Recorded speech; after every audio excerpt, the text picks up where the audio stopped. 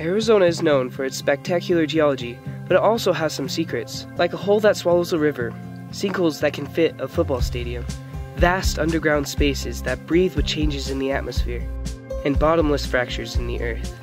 Formations like these are scattered all over our corner of the state. What causes these cracks, and what is hidden in the darkness? A small group of students at Snowflake Junior High School plan to use technology to explore deep in the earth. To do this, we need to create a new breed of remote control vehicle. With the help of community members, we designed and cut metal parts, made custom circuit boards, and coded microcontrollers. Many of our parts needed to be fabricated because commercial components were not a good fit for our project. Teamwork, purpose, and problem solving helped us complete tasks that we didn't think were possible. There were many challenges along the way, but seeing our product come to life was encouraging. To finish it off, we used a combination of traditional woodworking and modern vacuum plastic forming.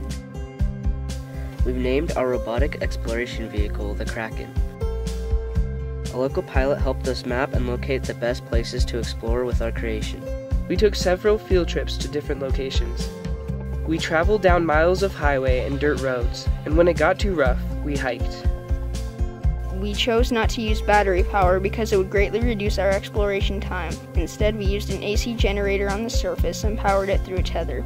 This gives us hours of uninterrupted exploration. We used a system of ropes and pulleys to lower our device, the Kraken, to the bottom. Live video footage and control signals were sent through a Cat5 Ethernet cable to a laptop where we piloted the vehicle. It was exciting to see what was in the darkest depths.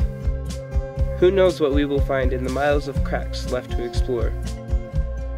We believe our device could be useful in other situations like search and rescue in earthquake rubble and collapsed sinkholes. In southern Arizona, 160 miles of a new type of crack is forming. Increased water demands, drought, and unsustainable groundwater pumping has drastically lowered aquifer levels. Without the support of the groundwater, 3,400 square miles of Arizona is sinking, compacting the soil and permanently reducing the aquifer's capacity, which is another problem that must be solved for tomorrow.